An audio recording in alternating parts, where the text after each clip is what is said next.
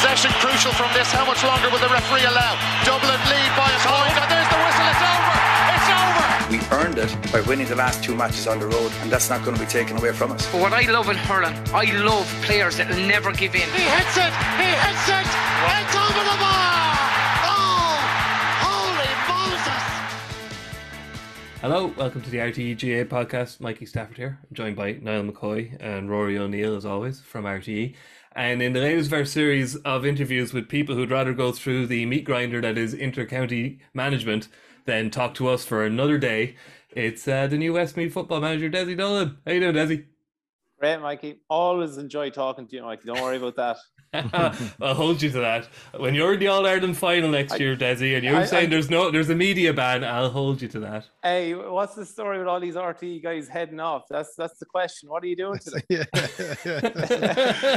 Everyone's starting to ask the question: Is it the podcast? That's all I want to know. yeah, yeah. The funny thing is, though, Dessie, like we, we get we get stick from pillar to post about the quality and content of our contributions from our pundits, and we've none left because they must they must they must be doing something right if they're so Yeah. popular with all these county boards, you know. The thing is, Dessie, Yeah. we, we, we pay too well. All these these managers, they just want to go back to the volunteer spirit of the GAA, and that's why they're leaving punditry. That's what it is. Yeah. Um, Dessie, but uh, congratulations first of all. Um, Thank not you, not a thank complete su- not a complete surprise, but at the same time, when we when we look at kind of um your own coaching career to date, um, I suppose a lot of people might say it is a surprise because I'll hold my hands up and say if I, if I'm missing out on a school team here or a, a five-a-side team that you managed in a in a in a blitz or something, you've never managed a team, have you? So you Jesus Dessie, you're you're going in at the top.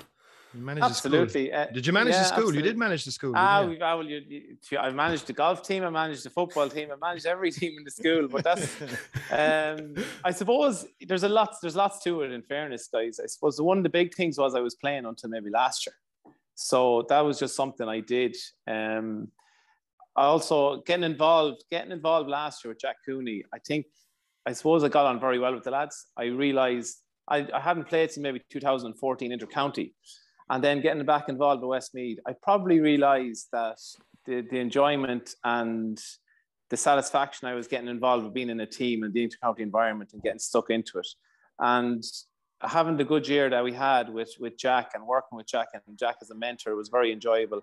And I suppose I was surprised anyone when I got the news that Jack had to leave the job. Um, so I suppose the opportunity presented itself. The players were probably keen to have a bit of continuity. So I suppose I stepped up to the role as a result of that. But I, I'm kind of confident insofar as I have a lot of good people around me um, in Westmeath, and I'm obviously best mates with John Keane for a very, very long time. And he's great coaching experience. The S&C guys are amazing, and oh, the whole backroom team. And I suppose that's really probably the reason I'm doing it is because the continuity is a big factor. A couple of players, maybe 30, 31, 32, and I think give them another opportunity to um, go on, push on, seeking what we can achieve in Westmeath. Yeah, so the the backroom team then is going to be largely what it was last year with you stepping up, is it? Because I know it the Westmeath County Board said it's t- TBC, but it's going to be largely the same setup. You would hope, I guess, is it? Absolutely, it, is- it will be largely the same setup. At the same time, I probably will be looking for a another coach and just to add to it. Um, so I'll be just the marketplace got pretty um, I suppose swiped of a lot of good coaches when Mayo took Kevin McStay. He took the majority of them, but uh, the, at the same time, I just think maybe we'll keep an eye out for a coach, a little bit of uh, experience as well, something different, and just a different voice as well to add to it. Because I suppose you just need variety. Like the one thing I know is back with management and management intercounty level is like there's an expectation from players there, and you have to be bringing different ideas to them, presented to them. So definitely, I'll be looking to add something in that regard. Well, you well, Dessie, can you please not ring Ciarán Whelan because we're we're, we're running we're running low, right? So can you leave Wheelo off? Because I know I know he has big connections down in West. He has. Yeah, big, is- big, his- big his- his wife, yeah. his wife and his family and all of that. So, but uh, so, but like, please, you know, we, Yeah, yeah. we've lost enough. yeah, yeah. Um, Des, you mentioned the, the Jack Cooney going and the, the surprise that it was, and obviously it, it was a job like it. Basically, his dream job came up, and he, he kind of he couldn't not take it. Uh, But he was so well thought of. The Tailteann Cup win obviously was huge. He's developed a very like as you say, there's a few older heads in that team, but there's some very talented young players coming through, and you know Jack's done obviously the, the heavy lift in there. Can you just give us an idea of the kind of the influence he's had on you in terms of of coaching and management, and kind of whether his style of management is is kind of the one that you would kind of aspire to, I suppose. Well, I, I, suppose the one thing Jack is very strong at is creating a culture and environment where lads can excel and enjoy themselves. And, and I think that's the real secret now to success insofar as you're trying to keep it a happy camp as much as possible because there's lots of stresses and strains on young lads nowadays. Um, I suppose Jack Cooney was involved with Westmeath for such a long time. Like he was back selector when we won the Leinster in 2004. It's 2022 and he won the Tailteann Cup. It gives you it gives you an idea of the length of time and service he's given to Westmeath football. But uh, even on, on me, myself, I played with Jack, and um, he just he just has a great way with him, great way with the players, great rapport. And he went off.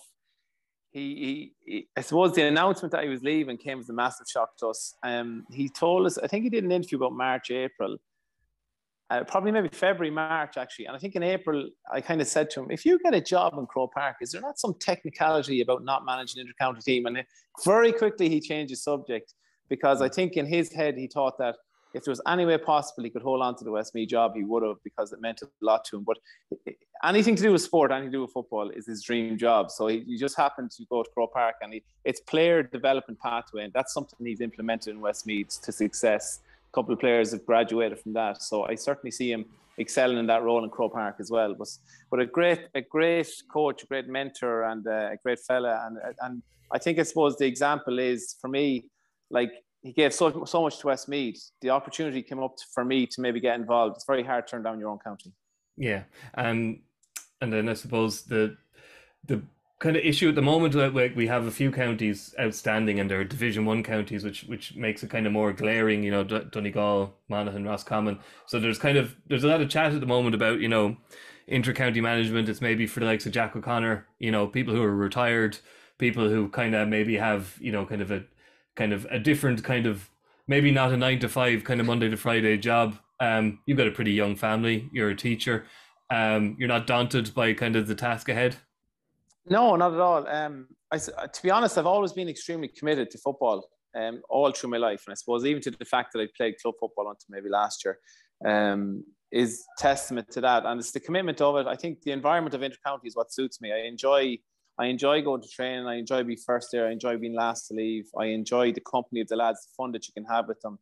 Um, it's certainly already I can see how it can be demanding because like there's lots of good messages of support from all over the country now. To be honest, but at the same time, it's just uh, the level of interest probably is is magnified a bit with intercounty management, and I suppose the responsibility then, time to put in, like going looking at players, trying to trying to seek out or a bit of extra talent in that that's in Westmeath is really important as well, and that's something I'd be looking to do. But to be honest, um, is is too good an opportunity to pass. If if someone comes knocking and they want you to train the county team, and you're very into football and it's your passion, uh, I don't think you can just let it pass you. To be honest. Yeah. Um, the Tailteann Cup then obviously is probably one of the reasons. Like you know, the the year was so good.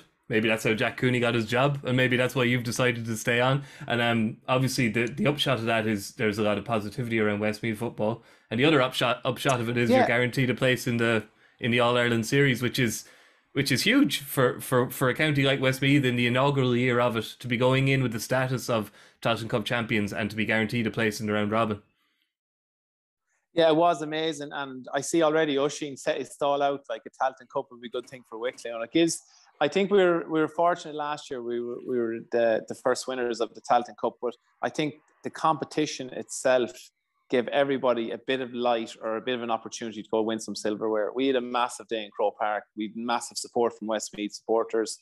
We were lifting a trophy in Hogan stand. We we knocked great crack out of it. We went back to Mullingar it was as good as any as good as any we won the Leinster 2000 it was as good as that it was amazing scenes and a great lift for the county and I, I just do think that it was a great competition um, for for everyone in division 3 and 4 because it's tangible and at the start of the year you can set your soul out and aim for for winning a trophy yeah and have you I guess it it, it, it um increases the chance of uh, buy-in from your squad. Obviously, you know, Um, Yeah. Counties, kind of mid-ranking counties, are often there. There's the risk of I'm off to Australia for a year or two, or that's just saying oh, I want to focus on club. I guess that's less likely for you this time round. Well, hopefully we can keep as many of the lads together as we can. Um, there's a team holiday coming up as well, and it's for, in preparation. Where are you for going?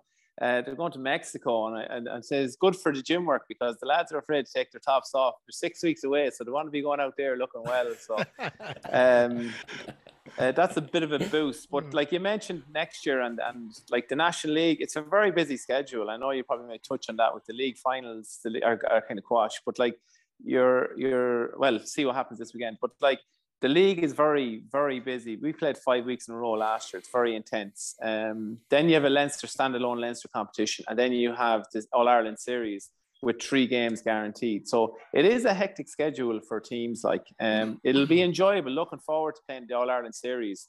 Uh, a game at home, a game away, and a neutral. I think that's right. Not sure, mm-hmm. but but at the same As time, it stands, as it stands, who knows? as it stands. but like you're looking there at the possibility Division One team coming down to Mullingar for a- an All Ireland Series match. It'll be a massive opportunity and something for us to build on and something for us to push on and enjoy. And and certainly we'll be look forward to that as a as a great opportunity. Mm. You'll um you'll be looking for that bit of certainty on the fixture list as well after this weekend because the chopping and changing. I know it's a bit, bit away yet, but at the same time, you probably are wanting to start planning and booking had things and everything else. Absolutely. Well, pitches would be one thing for a starter. We don't have a pitch in Westmeath, but like I thought it was initially, I heard uh, December 15th for a going back date. I'm looking at November 24th was in an article this morning. That's probably the Colm Keys one, Rory, that you talked about in relation to a return to training.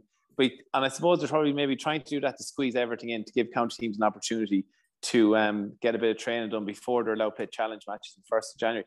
But it is hectic. Like I found last year that there's there's actually no time for games to breathe, even during the championship, even during having a bit of debate and discussion, because you're always looking to next weekend as well. Yeah. Uh, Just in Uh, terms in terms of the family, Des, like uh, obviously your dad and Gary, w- will they have Yeah. any involvement? Do you think, or like on how much would you lean on them? Or I mean, they've Uh, all they've all got a fantastic football pedigree as well. I'm sure you know. Yeah, absolutely. Well, my dad trained Longford with uh, Eamon Coleman years ago. Um, then he trained himself on his own standalone. Then he was with Leitrim for a couple of years. Loved Leitrim. Um, I suppose that's the thing about football. We've been involved in football. We've been on the road with counties. Like I was training with club teams in Longford when I was 10 or 11 senior teams. Um, so it's just innate. It's what we do. It's, it's, it's the environment that we enjoy. Gary uh, won a championship Garrycastle as manager, but Gary's somebody that's probably, he's my brother, best friend. He's a mentor. He's a t- someone I go to a lot, lean on a lot. Like, but um, as it stands, to be kind No of more official, of a, no official, no role. official capacity. Right, just I'm sure at the dinner table they'll have plenty of opinions. yeah, you may get used to that, Dessie. I think you'll be meeting plenty of people who have opinions and uh, have a bit of advice for you on hey, how I best to worked in manage the team. commentary in RTE. Don't worry about that. yeah, yeah, yeah, yeah. Oh, De- there's none of us too worried about you, Decky, De- Dessie. Um, to, to the untrained eye, you might seem to have that thick of skin, but we we all know now that you're uh, you're made of stern stuff and no better man for intercounty management. Um, thanks very much for joining us, Dessie. Anyway, I guess you probably you have to head off now and start pleading with clubs to let you use their pitch and dig it up for them in December. So you probably got some calls to make. I have to say, like I've got great support within the county already, so I just look forward to building on that. And always a pleasure talking to you, lads. And and Des, just in case I get accused of any favoritism against Mayo, if you do need a pitch, uh, if you're stuck for somebody for a game behind closed doors and you're playing any team from Ulster, I know somebody who may know someone who may be able to source one for you, and it's a very good quality surface. So I know just you won't ju- let me that. Yeah. I, I, won't, I won't name names, but thanks, Rory. Cheers, Dessie. nice one, lads. See you later. Good Bye, good luck, bye. Dessie. Good luck. Thanks, lads. Jeez, Roy, we're gonna have to start charging you advertising rates if you Ah, yeah. keep um if you try to sell keep trying to sell St. Pat's pitch I on know, here. no, it's just in case anybody was thinking, Jesus, oh yeah, he's looking after Kevin and he's not looking after anyone else, you know. um, so Niall, it, it's not a great surprise, and it after the kind of few headlines we've had, and kind of it's a topic we'll, we're going to touch on it a bit. It is kind of nice to see a young man kind of getting into the intercounty game after after Oisín because we were beginning to get a bit concerned that it was it was becoming a, a game for retired men or people of independent wealth. Yeah, and the way they done it's the way you do it. Uh, bit of speculation, then a couple of hours later, bang, they're appointed. These uh, six-week drawn-out processes are just uh, that, that's an the Ulster drain thing. you, the drain Yeah, I like these sort of. It's just it's mooted and then it's done. That's the way to move forward. But no, here fair play to him. Fair play to him is great. Like he's obviously so enthusiastic there. You can you can sense it so much, and he'll bring a lot of energy to it now. And, and all the best to him. Westmeath are in a very good position now after what happened last year. Mm. Yeah, This team to build on that. Yeah. He's got, and he's got and he's got some great raw materials to work with. I mean, he's a very very good panel of players, and Mm. there are there are some very good achievable goals for him. I mean, what does success look like? That's kind of a difficult question to ask on the basis of what happened last year. But at the same time, I mean, I'm sure, and you know, there are definitely some short term things. And like as I said, like it's like Ronan O'Toole and these guys, they're like they're top class players, and I think they have um like it's a it's a good. I mean, I'm, I was reading a, an article with Pat Spillane recently, and he said if there was one county outside Kerry he'd like to take on, Yeah. it would be Westmeath. So Yeah. there you go. And, and, and the thing is, like everyone's like, oh, these teams have to close the gap on Dublin, but that's probably not what the, the, they need to track a team. And uh, I'll use say Armagh for an example. Like a couple of years, Armagh and Westmeath there a couple of years ago, brilliant battles in the qualifiers. And Armagh just went from Division Three, dropped to Division One there. They've stayed there for a couple of years, uh, and they're looking like they're sort of not contenders, but a decent side. That's the sort of they sort of have to those teams sort of have to track that sort of side rather than this talk about closing the gap in Dublin. Have to look like a team Armagh who's of a similar sort of standard a couple of years ago and see if they can match what they're doing. So here's hoping. Yeah, well, and, and he and he has huge experience, Mikey. I mean, I, I spoke to Dessie before about you know the the nature of his football career, and he said, "Look, I've played pretty much in everything, interprovincials when they existed, minor. He has an All Ireland under twenty one medal. Um, he's played in divisions four, three, two, one, and then back down to two, three, and four. Like he's been promoted and relegated. He's he's been in All Ireland, you know, Leinster finals. Or, like he's he's got a huge body of experience behind him at nearly every level of the game. and he's no, managed the school golf team. And he's a secondary school teacher, so he's and he's pretty up close and personal with a lot of young lads. So I think he's uh, I think he's a great choice in a lot of ways, and I think he could be quite successful. Yeah, And, and I think he touched on it there too about Oisín talking about Wicklow all of a sudden having a tangible uh, target now at the Tailteann Cup. And again, of course, there'll be outsiders for it, but to see it as something they can compete well in. And I think that competition will look back in 2022 in the Tailteann Cup as being a major moment in the GAA because all of a sudden you had 10, 12 teams that were playing for nothing essentially apart from the league. Now they have something that they can enjoy in championship football. And that goes back to the teams buying in last year. Uh, the managers, the majority of managers, I should say, talking so positively from the first day. Like for so many people, they're predicting another All Ireland big competition. Teams will be pulling out, wouldn't be taken seriously. Teams took it serious. Fans came out. We saw the Westmeath fans. We saw the Cavan fans in particular as well.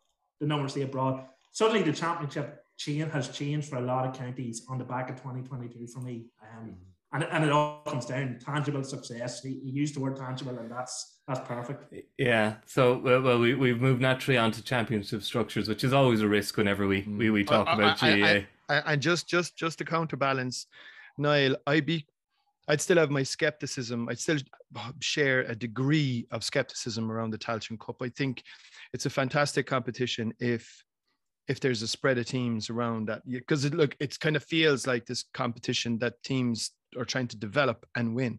But if you end up in a scenario like the Joe McDonagh, where you get a yo-yo team goes down, wins it, comes back up, goes down, wins it, comes back up. Novelty will wear off fairly quickly, I would imagine. But anyway, Yeah. look, I think it's very early to call. But sure, Yeah. and, and and we and we all hope, obviously, that it is a Mm. success.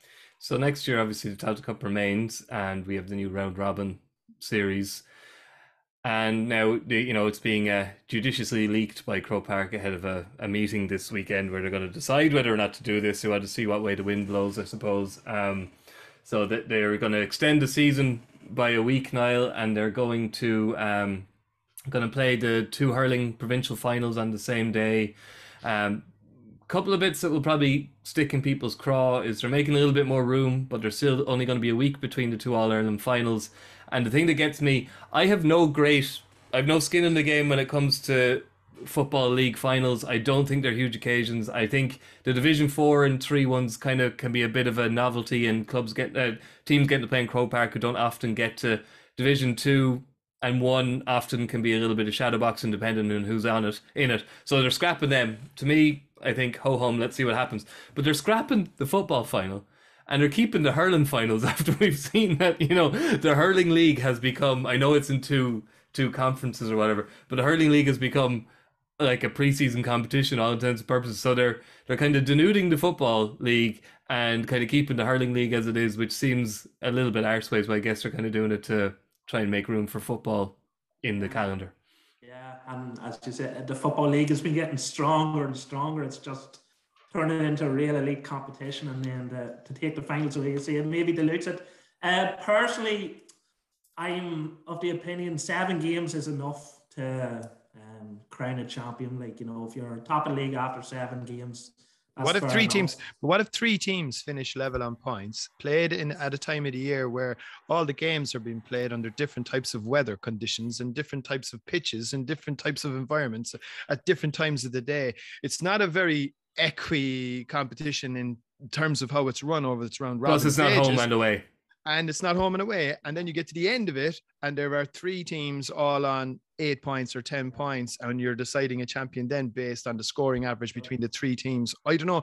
I, I think, it, I, I- I'm just wondering, that, and that, that could easily happen, especially with the competitive yeah. nature of Division One now. I just wonder, like, I mean, look, I understand the sentiment behind it, and there are issues around it, but you like, it's like in Dublin. They're looking to change the leagues in Dublin, right? The, the county leagues. And I can uh, again understand the reasons why. 15 league games in Dublin is a lot, right? Especially for dual clubs, because that's 30 league games, and then you might have six championship matches on top of that, right? But the leagues in Dublin are the envy of the whole country. The, the football leagues at at county level are the are the are to my mind arguably the best competition that you have. And there is an element of this for me is like you're trying to fix something that isn't really broken. I mean, dangerous. And plus, there's a financial aspect to this too. That's very risky. I mean, I look back at the attendances for the last 10 years when I saw this, and your average attendance is about 40, between 40 and 45,000 people. You multiply that by 20 euro, that's not insignificant money. No, no. Yeah. I think that's fair. uh, It's a fair point there actually about the teams finishing. I suppose you, you can relegate teams on similar things as well, Rory. So I suppose It's true. But It's good for the uh, goose. Yeah, but uh, the, the one thing that would is a bit annoying about it, like we looked at Leitrim a couple of years ago when they played Derry in the final, and how big of an occasion it is, and it's probably what you were touching on there, Mikey. Maybe for the Division Three and Four teams that don't get those outings in Croke Park, and listen again, Wicklow might be pushing for promotion on McConville if things go well, and you know getting a big day out. Leitrim had it there, are different teams having that day out, so maybe for the Division and Three, Four teams, it's. uh it's for me, it's a bit of a bit of an annoying thing. They won't get the day out, but listen, I, I don't know how much of an impact it'll, it'll actually have on things. Like as you say, what season's going to be back by an extra week? It's, Ah, It's not going to make much of a muchness. not, no, not exactly. Uh, what what I think what will get a certain cohort uh, up on their hind legs now, Rory, will be the idea of playing the two hurling finals on the same day. Mm. As we know, hurling is a sport that is dev- you know is robbed of oxygen and has very very few showpieces. Mm. Some of our pundits have been known to mention before, and now. The two main showpieces below the All Ireland final showpiece are going to be run off on the same day. So which again, which which again, I mean, look at the uh, Leinster final this year. Um, I know it was a Saturday night. I know it was played at a time of the year when there was a lot of other stuff going on. was that the game that was played before the memorable handshake? Mm, yeah, yeah. The That second handshake, handshake, handshake yeah. part two. Yeah, yeah, handshake was part two, yeah. part Oh yeah, I forgot there was a game of hurling before. Yeah, that's what I'm yeah, yeah. But like the, it was I, I don't know. Did it, did the crowd break twenty five thousand for that oh, for that? it was oh, it was so dead. it was it was pretty small. So what you're now doing is you're putting the two marquee fixtures on the excuse me on the hurling calendar outside the All Ireland final in direct competition with each other, which could affect your tendencies even further. Now you're dependent then really, and you're hoping that you're going to fluke Wexford make it to a final, but sure that's not going to happen every year as much as we might all Half like the to see team are going to Australia as well, so it's really not going to Yeah, happen you next know. year. Um, but but but you mentioned there that it'll have hurling people up in arms, Mikey. I don't know, will it? I think the hurling fraternity, by and large, they're quite clannish, cliquish, and they'll all stick together and they'll talk up their sport. But they're a pretty docile bunch by and large. They'll kind of just do what they're told ultimately. If if if there was genuine rancor and there was genuine um, upset and uh, radicalism within hurling, they wouldn't have accepted his calendar in the first place. You know what I Yeah. mean? So I don't know if it's going to, uh, if you know, people probably have a whinge here and the odd newspaper article, but it won't make much of a difference. The decision will be made, and they'll just accept it, and that's the unfortunate aspect. Yeah, and Niall, um, you kind of the, the old saying is, you know, the GAA moves slowly, slowly, slowly until it moves really quickly. Um, we're kind of going away from that now. There's, I think people are going to start getting very irritated soon with the rate of change, the amount of change, the fact things are being trialed, trials are being thrown away. People want change, but I don't think anybody wants change for change's sake. And th- there was a lot of upset and frustration aimed at RTE partly because some pundits said they didn't like the split season that ran in 2022 and people have been saying well you at least let it finish before you judge it which i, I don't think is an unfair um, point of view at all i think let the club season let 2022 finish before you judge it here we have the GAA already tweaking their new 2023 calendar before 2022 is finished and Because they know, any- because they know, they know. they Yeah. know. But I think, but Niall, I don't think any of us also think this is going to be the final tweak to the GAA calendar in the next three or four years. It is. It's getting to the point now where it's it's getting hard for the casual fan to follow uh, competition structures and things, and it's probably getting hard for people like Dessie Dolan to plan. Um, and it just it almost feels like we just need to settle for a year or two, just chill out at this stage. And, and and and Mikey, sorry, just to cut across in before Niall, there's a huge, huge problem at under 17 and under 19 level.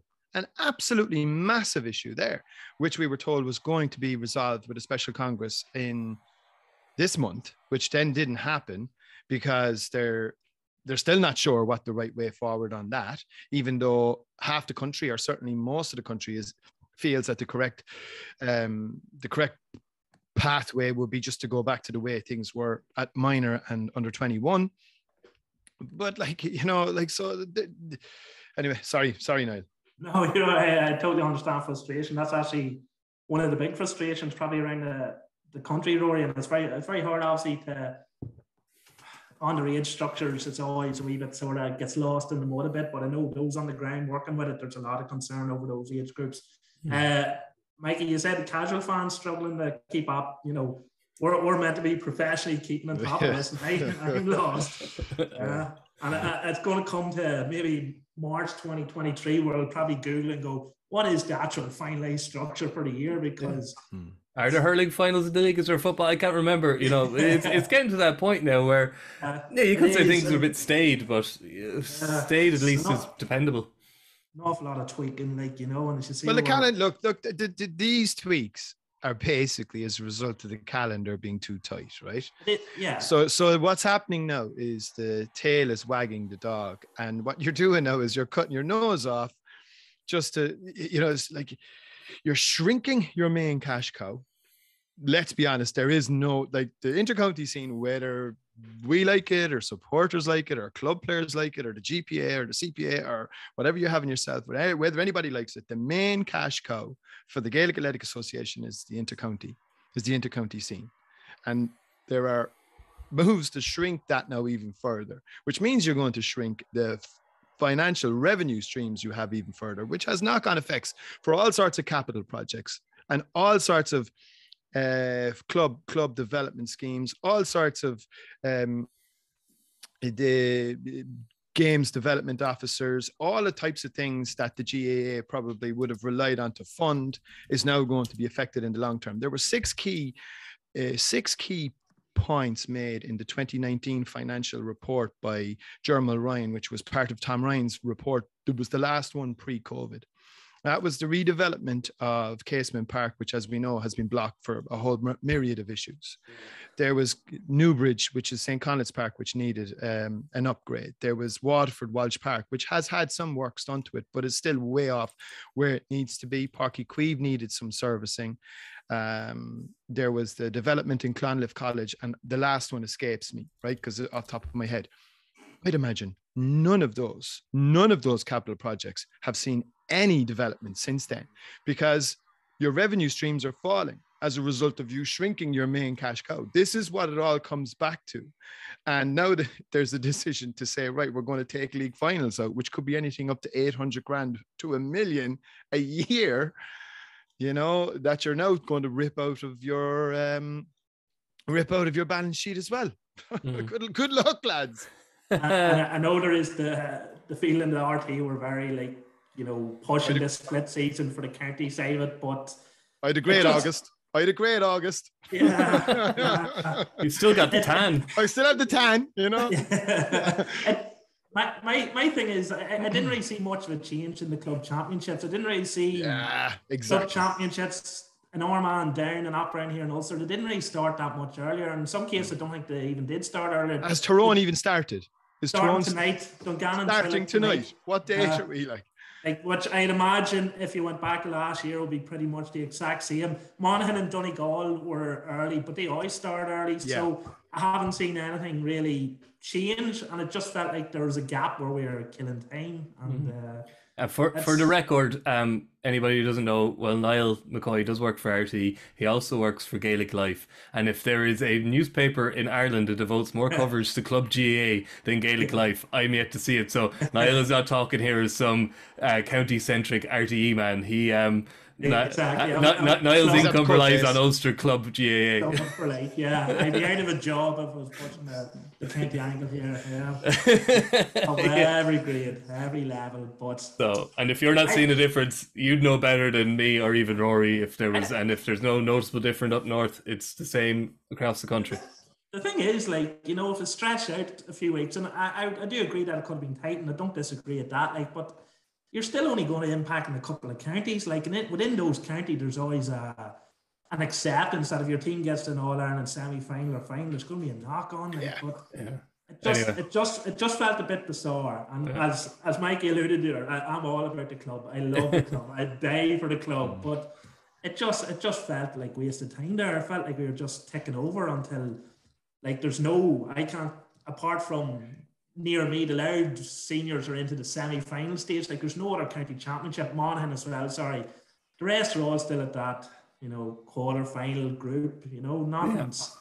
We're in. We're in like we're late September, and the club championships. Nothing's near conclusion in a lot of counties. So what's actually happened? What's changed? Hmm. Just um, to, to change the subject, uh, Rory, mm. uh, seeing as you mentioned age grades, you like this. We had a um, we played a challenge match um, against a club called Knockananna, who are from central Wicklow, shall we say, not too far from uh, Aughrim.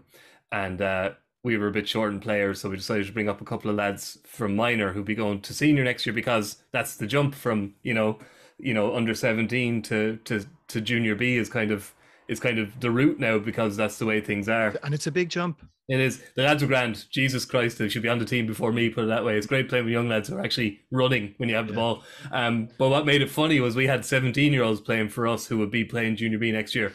The age of the guy playing in goal for Knockananna 62 years of age. Ah, good man. And he wasn't, he was pretty good. As he used to play goal for Wicklow. His name escapes me now. He was 62 and I was playing corner forward and I got a good look at him. He's decent and he's 62 and he's playing against 17 year olds and maybe 16 year olds. sure, we were knocked out of the championship on Sunday last there by Vincent's. And look, I mean, I think Vincent's championship position was a false one anyway. To, to be honest, they should, probably shouldn't have been in senior two in Dublin, but um, and I think they'll win this championship you know, pretty comfortably in the end.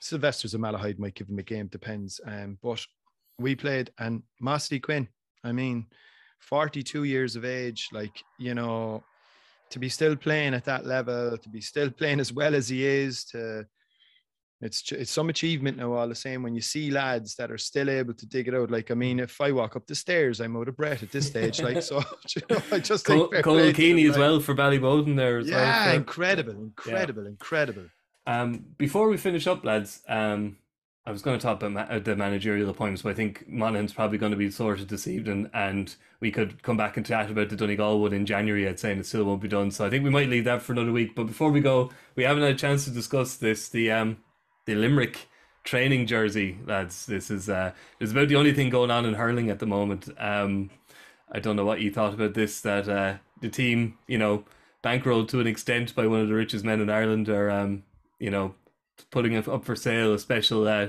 training jersey for next year, where uh, for the princely sum of 150 euros, you can have your name uh, added to the jersey design um, to fund a team holiday. Um, so Niall, I think the jersey is now 100 euros because the initial reaction wasn't fantastic, and and taking JP McManus out of it because who knows what his arrangement is with and what he agrees to fund. And I'm not saying the man should have uh, just be throwing money at Limerick hurling all the time. There's a, isn't there a grant from the GAA towards the holiday, and Limerick would be a pretty big and successful, But uh, you know, county board. This this this just seemed odd to me.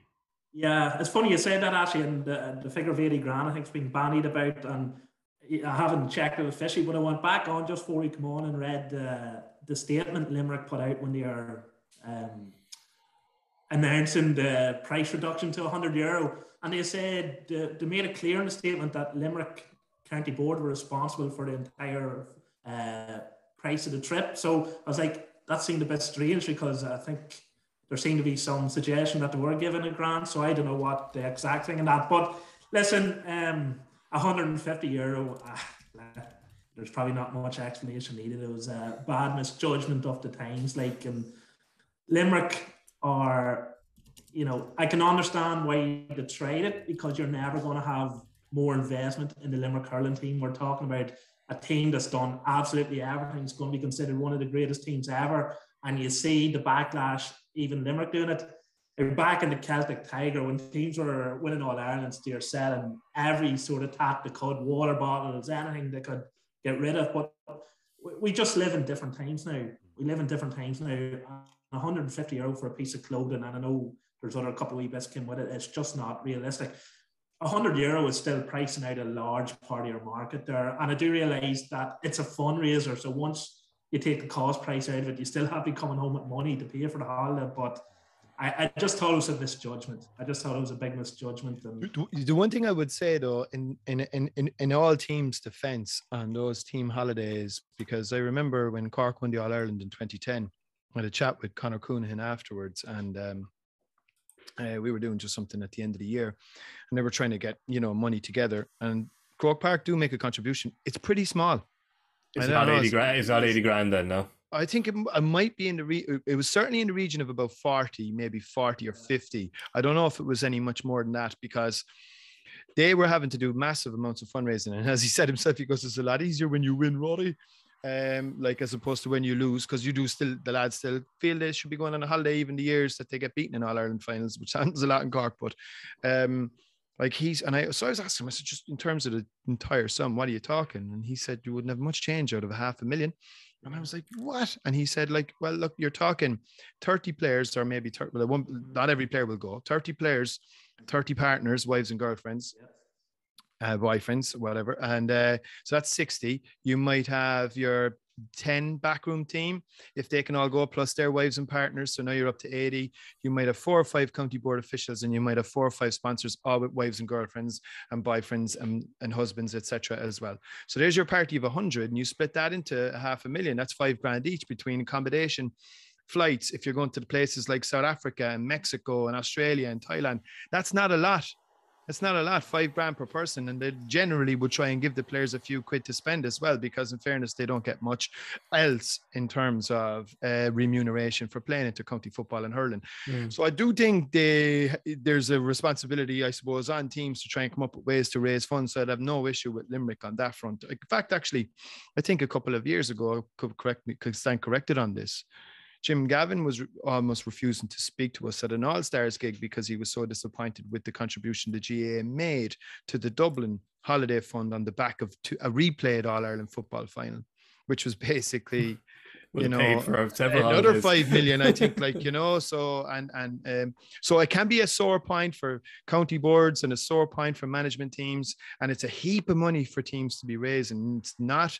It's not that easy, not as easy as people think. So if they can come up with novel ways to try and do what you say, fair play. But yeah, I suppose maybe they just got their price point wrong on that one. I, I, I think you know if you got change out of half a million, you're probably doing well there. Doing well, you're you. doing well. know, Yeah, yeah, you're I, doing well. I, I, done a wee bit of master, and I was thinking 150 plus people you'd expect. Um, you know, so as you say, and they went to Barbados last time, not 100% where they're going this time. Like, you know, it's it's not Yeah. a weekend in Bundoran, like, you know. So, yeah, yeah. Or they're not Yeah. going down to Lanzarote or you No, know, no. Ibiza or Well, it probably Yeah. depends on how many shirts they shift. They could be, they could, Yeah. they could be, Listen- go, could be going to Ballybunion. it's a balancing act, like, you know, it's a balancing act. I think, you know, as you say, like, they've every right to fundraise there, and there is a big, big, obviously, a big uh, deficit there to make up. I just, and, and 150 yeah, yeah, yeah. And, And as you said, and, and, and- and as you said as well, like it isn't an open checkbook from JP McManus either. So they probably do. Ha- I mean, you know, like they do have to raise something themselves. Yeah, Sorry, Niall. yeah. Maybe, maybe it was a novel. Like, like there was a novel element to it. I I think the 150 euros probably was what made most people raise their eyebrows. As you say, Niall, the to use the to, to use the marketing term, the price point probably wasn't quite right. If the, if they had done it probably for say 99 euro with that on at the start, it probably wouldn't have made much of a story like in the first place So if they hadn't had to come back down there anyways, you know. Because if you go into a shop and buy a, a normal jersey now, it's you know yourself, lads, it's, it's not exactly cheap. Like gears, gears not cheap. It's like everything is getting quite dear. I know. I was trying. I was, I was contemplating buying a Wicklow jersey for my uh, one of my nephews, kind of as a joke, because his dad's a big Leinster rugby fan, living in Wicklow. Um, but no joke, for a three-year-old kid is worth forty euros. I'm sorry, like forty euros for a kid's GAA jersey. Um, I had no idea. Uh, my kids won't be wearing any GAA jerseys anyway. I'll tell you that. Still cheaper than the soccer ones, in fairness, and the rugby ones. But you know, they are certainly getting pricey. Santa will be under pressure this year. um, and then finally, lads, just before we go, Niall, um, Jack McCaffrey, Paul Mannion, um, you know, Dessie's pulled off a, a good early season win for himself, or preseason win for himself here, and uh, it probably does. It probably does move the market. I don't know. I don't look at, uh, but at betting odds certainly not this time of year. But the Dubs probably could be moved up to favourite in for the All Ireland betting on the strength of the two of these guys coming back. I'd say they probably are. And the thing is, they're 28 and they're 29. And uh, Rory touching it there about players playing on and, you know, to their age. The, the retirement age is going up and up because these boys just take such good care of themselves now. Like, so, you know, depending on when they stay or not, you could see both those boys playing until they're 35, 36. So that could be potentially six or seven seasons with two absolute superstars. Like, Mannion's just an absolute gem. And we all know what Jack McCaffrey could do. So, uh, top top level sports, It's like everything. Top level sports, fine margins, and you know we saw that in the Dublin Kerry with the Sean O'Shea free kick. Like these, a lot of these matches so often come down to one kick of a ball. And here, if you're Mannion and McCaffrey, and if you had a Con that day, it could have been the difference. Like you put those three in, and you won back against Dublin, winning that semi final. So. Yeah, listen, when when when it's so tight, and you know, for many years Dublin were that far ahead, but there does seem to be a real sort of tight core group now, that could be the difference. So huge, absolutely huge for them. Rory, you're the um, you're our, our, our Dublin club correspondent. Even um, Philly McMahon, before the two lads came back, he did an interview with Owen Ryan on the website, and he was kind of saying how uh, he said, "Oh, it'd be great if they came back." He said Mannion's playing brilliantly for Kilmacud. He says, "I haven't seen Jack playing, but like I would imagine he would obviously add something." It, has he been playing for Clontarf for the last couple of years? Has he been playing club football? Championship only, as far as I'm aware. I don't know if he's tagged out too many times in the league because I think there was a commute involved. He was based down the country for a bit there. It's a pediatrician, so Mm. um, I don't know. I like, but look, he's a very committed Clontarf man. I know he played in the uh, relegation game with Raheny at the weekend. Mm-hmm. which they lost. Um, so they're gone down. They're gone out of senior one back down to senior two. Um, but apparently Brian Howard was in incredible form on that in that, and obviously when you have the likes of Brian Howard and Brian Fenton. Brian Fenton as your midfield pairing at club level, it's it's quite a forceful, it's quite a forceful pairing to have. I wonder club what their tactic is. You know? um, so Raheny stayed up quite comfortably. In fairness, um, I think. Look, I think, and as well, just to echo exactly what Niall said. Look, it strengthens their hand in a big way. I think another big thing is the Dublin scene is pretty much grinding to a halt now. There's nothing left really from here. Like I had loads of lads in- within from our club asking, can we can they go off play soccer for the rest, you know, for for the next four or five months because there's nothing for them to do. Um, but they yeah, so the, the Sorry, why do they have to ask your permission to go play well, soccer? well, it's just on the basis if they get injured, and if they're saying, "Look, if I get injured, and you know, what can I claim on the injury scheme?" And I said, "Well, if you're playing soccer, no." No. You know, but, um, Short answer. yeah, yeah. So, so that's that's so so they were just they were just querying it really, or would it be frowned upon? I said, sure. Look, look, we've G in GAA land, we've nothing to offer you. So why wouldn't you go play soccer for the next four or five months? Um, but I think from a to go back to the point, I suppose really it's fantastic from the inter-county players now because they're all now really in shutdown mode. And I think that's very important from a Dublin perspective, given the age profile of some of their key players, like James McCarthy, even Con O'Callaghan, probably got no real break for an awful long time. Um, Mick Fitzsimons, as we saw again, lion, lion, lion-like performance again uh, at the weekend, and you have you know, Johnny Cooper, you know, good few lads there, and even the two lads that are coming back. I think they've got a nice little breather now over the next four months to kind of get themselves sorted. And I think it makes Dublin unbelievably dangerous going into 23. Yeah, I think so too. Sorry, it's it's like if you wanted to, add, if any county wanted to add two players, you know, whatever county it was, if you just say to them Jack McCaffrey and Paul Mannion, you'd, you'd probably be pretty close to the two players any county would want. You know, um, the original. Pace, yeah, skill, energy, everything, and good Yeah. and good vibes. You How, know, there's- how, ref- how refreshed are they going to be now? They got to go and have a couple of years. And, you know, Jack was obviously doing work overseas, and Paul, I think he was out in America there. So they've got to live their lives a bit as well away from that hmm. microscope. So how refreshed are they going to be coming back in? Like, you know, they're hmm. they're at the start of a new journey again, rather than having played for seven or eight years every year. Now they're coming back in fresh as daisies. So. yeah, yeah. Actually, we're we're, we're all we're all delighted for them. It's been a tough couple of years for Dublin. In a tough couple of years. Two, the two famine could be over. yes, it could be. We shall leave it there. Um, we will be back uh, next week. This weekend, you'll be able to keep across some of the club action on radio Saturday and Sunday Sport, and uh, Saturday evening. I do believe there's a Tipperary hurling quarter final. Drom and Inch, Drom and Inch, Loughmore, Castleiney, quarter to four. Yep. That yep, is. yep. Thank you very much. I was I was about to try and stumble through the two teams, which. I did read earlier. I couldn't remember. Thank you, Rory. Um, so me and Rory will be back with you next week. By which time, you never know. Maybe Roscommon, Monaghan, Donegal will have a new manager. Maybe not. Um, but anyway, we'll chat to you then. Good luck. Thank you very much. Goodbye. Crucial from this. How much longer will the referee allow? Earned it by winning the last two matches on the road, and that's not going to be taken away from us. But what I love in hurling, I love players that will never give in. He hits it. He hits it. It's over the bar. Oh, holy Moses!